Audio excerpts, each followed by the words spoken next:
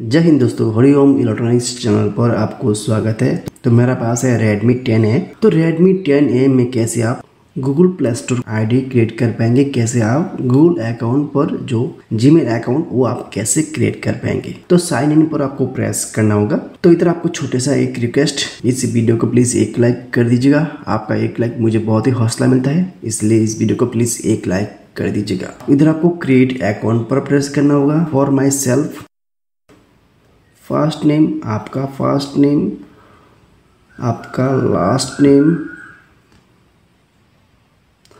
आपका date of birth month, आपका date of birth का मंथ, आपका डेट ऑफ़ बर्थ का ईयर, और आप जो भी मेल फीमेल हो, वो प्रेस करना होगा। करने के बाद आप कोई भी एक अकाउंट को आप ले सकते ही हो।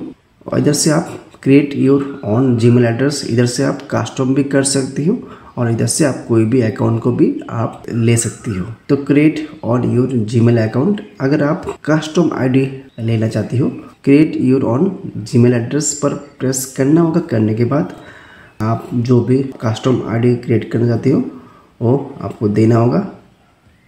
देने के बाद नेक्स्ट पर करना होगा। करने के बाद अगर ऑलरेडी अकाउंट है तो आप क्रिएट नहीं कर पाएँगे।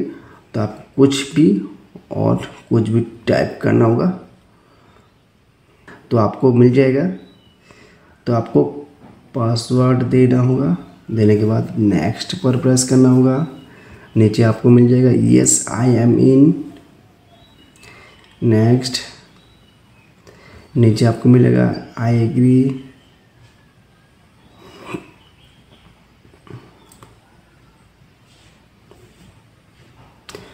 Google service more accept